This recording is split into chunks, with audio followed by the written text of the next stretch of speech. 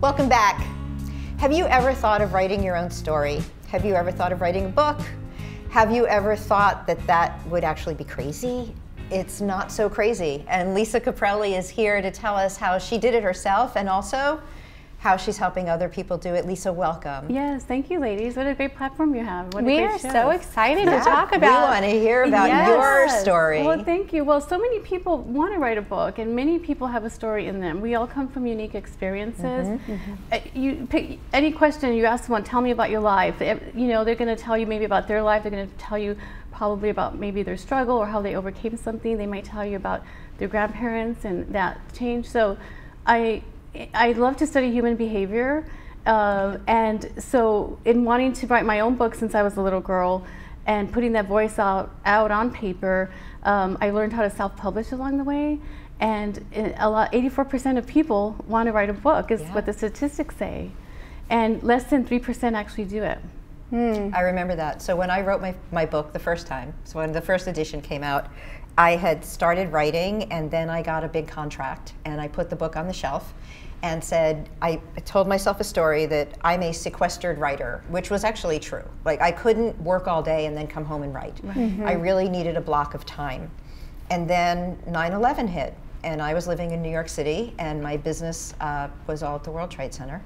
And so I survived, my business blew up, and all of a sudden I had nothing but time on my hands. Lots of mm-hmm. sequestered writing, and a need to put some good energy out into the world. Yes. And in the next six weeks, wrote my book, and it was published four months later. Wow. So I totally Well, hats off for you for putting that time. Story. Because mm-hmm. sometimes people still have the time and they're stuck. Yep. Yeah. And I feel like they need like a book accountability partner. And when I so say that phrase to people that I will be your book accountability partner, if you have an idea for something it'll get done. They just need a roadmap, a blueprint, if you will. Absolutely. I helped a girl just in two months. She we just got her published recently. Congratulations. Laura Feinstein. She wrote a poem book. Oh, great. And I told, she said, I don't want to do it. I just want you to help me. And she had 50 poems for a book, which was enough. Wow. And then I said, if you have 130, then you can have a book spine. So in one week, she gave me 130 pages total, wow. and that's what she got published at. And her life is changing she's a mom of five children and now but she, she wants to be an author now she wants to speak now she wants to do more and um, i love being part of that process mm -hmm. how can you mm-hmm. not help other people it's so fun to help people realize their creativity and what they're capable of and i think that's i don't know about you lauren but that's the reason that i love pr so mm -hmm. much yes. i love helping people with their creative right. projects right and you, so. you see where they are here and what they start getting you know mm -hmm. pr begets pr you know, helping other people begets other helping other people. Absolutely. So tell me a little bit more about this cute, cute book that I see here oh, on the oh, table, Unicorn Jazz. I love the title. Isn't that a great title? Yes, so thank you. So first of all, when I started telling people I'm writing a book about unicorns, girls of all ages, I love unicorns. I love unicorns right. too. we all love unicorns. unicorns. And, we do. And uh, so my girlfriends were saying, I want three. I I want to be Unicorn Jazz. And I was like, well, the, you know, the book hasn't even come out yet. It's on Amazon now. Um, and I got uh, my illustrator from my hometown of El Paso, Texas, Davey Villalobos. I mean, what's a children's book without good illustration? Sure. Absolutely. So I had to explain my concept, the vision, the story. And Unicorn Jazz, in the, in the first book, uh, she's shy character. She moves to a new land she moves to a new land with friends that she's never met before, wants to fit in. We all can relate to that. Mm -hmm. And no one wants to be her friend. She goes home and tells her mom, you know, nobody wants to talk with me. The horses say I'm weird because I have this horn. And, and so there's different characters in the story. Mm -hmm. And then she meets a wolf named Crow that become that believes in her and she has her magical power with which is her voice. Mm -hmm. And so there's a lot of great things in it. I, I really want people to get the book. Um, and so much has transpired from doing this that I love. Like it's one mm -hmm. of the mm-hmm. greatest things I love to do.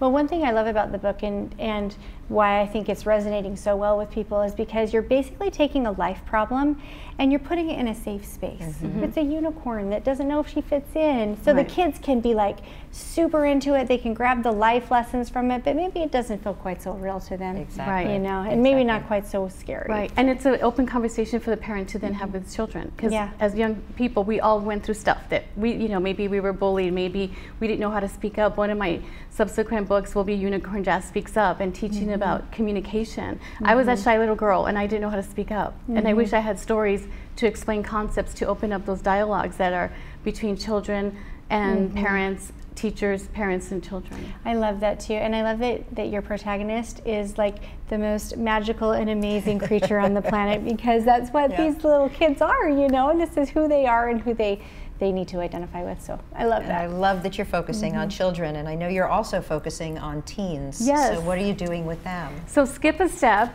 Uh, skip a step, and you can see the work also on Amazon, skipastep.net. So my co-author, Michael, Ashley, and I, uh, we wanted to give back to the teens, and we interviewed 13 different entrepreneur leaders and to ask them questions about what gives for a meaningful life. It's not just another get rich, this is why you want to be an entrepreneur, because as we know, an entrepreneur, it it's hard. It just, no one says, I made it to the top, it was so easy, it was so perfect, said no one ever.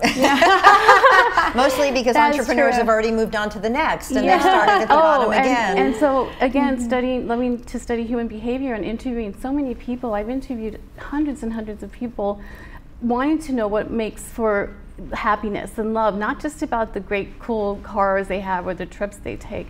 And in opening up and being authentic, you know, Michael Gerber is the first chapter in the book, and wow, that's a great read. You know, he's 80 years old now, and he's Yeah. still out there speaking and helping mm-hmm. and influencing people. And I asked him a question at the end What is the meaning of life to you? And instantly he's like, It's to create. You know, one person said it's, it's, it's to have vision. Um, Jessica Jackley is in there. She's fo- co-founder of Kiva.org. Oh, wow.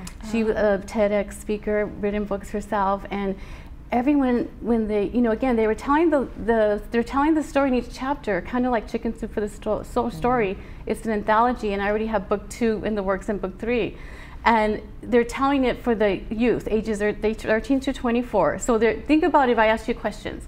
And i said the age group is age 13 to 24 what would those lessons be? You're going to have a different voice and lesson to that person right? Mm-hmm. And it wasn't about impressing. It wasn't about look at me where i've come. I mean some people cried and were authentic about many things. And and uh, it uh, you become friends with these people too and i'll tell you some of these people that inspired them to want to write more and do more as well It's kind of like a pay it forward type Yeah. of thing, you know. And I think that it's I think it's so meaningful when we, we help each other out like that. And and I think that sometimes we think, well, it's a business setting, you know, it's not really giving, but yet it is. And those are some of the most valuable relationships you can Right. Well, in interviewing people, it, mm-hmm. it gave me hope and inspiration to do what I love, like uh-huh. unicorn jazz, and really believing in yourself. You know, um, Mitch Free, who's in here, he did, he struck a deal with Jeff Bezos and talks about that, and talks about how he gave away a million dollars, a million dollar party to all the people who stayed loyal to him until he sold his company. Wow. And so, you know, we all go through struggles or when we have that idea, and it takes someone believing in you. And in the book Unicorn Jazz, um, Wolf the Crow is the one that believes in unicorn jazz, and then things change for her. So um, I just think it's so important to, like you said, give back to the younger generation, be a mentor, give back, and watch how your life changes. And I think what you're doing here is inspiring young people not only to tell their story, but to publish their story. Yes. So now they become published authors. Yes. Well, with that said, so I'm also um, have a guidebook called "Writing Your Story and Turning It into a Published Book." I do workshops. I'm helping teens uh, get published on Amazon, so by the time they graduate, they cannot author to their resume. So I'm working with some kids in Texas right now um, who are in a lower socioeconomic, you know, school status, and they want to have aspirations of being a doctor. And I said, let's help you get there. You know, so they're motivated. They're they're like, oh my God, you're going to teach me how to write a book? I said, yeah, I'm going to show you how to publish a book. And uh, and first of all, the younger generation they are in writing mode. If you think about it, think back to when you were in school or college, you're research mode, right? And these Yeah. and these younger generation of, of students, they have technology at their fingertips. It's not going to the library, Right. getting the microfiche, for them. right? And so I just think what an awesome time to be an entrepreneur. What an Mm-hmm. awesome time with technology to really do anything you wanted to yeah, do. Yeah, absolutely. And, as a from teen, anywhere. what as a teen, what an awesome time to actually be able to find value in who you are. Yes. I think that's huge. But we're in that time frame when most kids are struggling. Yes. You're actually helping them find ground. Yeah, and people say, um, like I'm working with the university right now, they want to offer this to their teacher teens, like a teen summer camp. And they're, were saying, well, what are the students going to write about? I'm like, are you kidding me? What are they going to write about? They're just going to talk about many things. They could talk about their parents' story, their grandparents' story. They could three of them could come together and, and write together a book, interviewing people the way I did in Skip a Step. Um, I have a 16 year old Jasmine who's doing uh, helping me with the second uh, skip a step and, and she loves nutrition she wants to be a, a, physician one day and I already have five physicians lined up for her. I, I, I mean, if I asked you, would you do an interview for, you know, how can you say no to that, right? Mm -hmm. And so there's many um, seasoned professionals out there mm -hmm. that want to give back. They have a story to tell, and I want to capture those stories. Mm -hmm. That's great. That's wonderful. So, how do people find you? Thank How you. can they work with you? Yeah, so I'm Lisa Caprelli. My website's lisacaprelli.com. Um, that's my Instagram and social media, and that's the best way to find me. Lisa, thank you so much for coming in. Thank you for sharing. We're very excited. I'm excited to read Unicorn Jazz to my children. Oh, yeah. yay, thank you, please. Got some yes, readers yes, here. Yes, we need to spread, spread the word. Thank you. Definitely. Very exciting. Thank you. Thank you, guys. And we'll be back.